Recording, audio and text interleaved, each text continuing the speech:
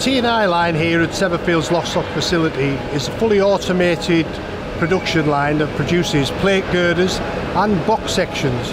We're led to believe by the manufacturer this is the largest machine in its type within Europe. It's capable of a three and a half metre deep plate girder up to 1500 millimetre wide flanges.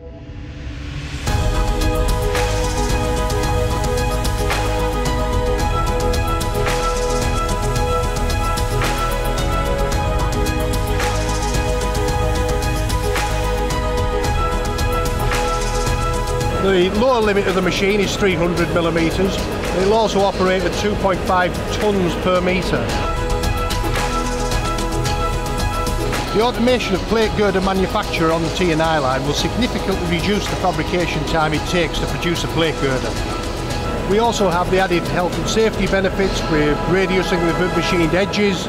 Uh, the machine will be utilised on a wide range of different types of projects from bridges, stadia, basically anything that requires a T&I section, plate girder or a box.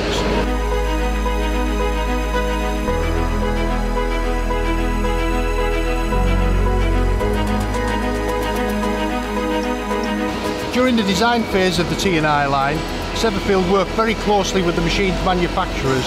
We integrated, which we believe the first in the world, an edge rounding machine. The edge rounding machine gives us the ability to achieve up to a 3 mil radius constantly on all plate girder flange edges. This is a vital constituent part of further onward processes when we paint the bridges. It improves adhesion and reduces the likelihood of paint failures in the future.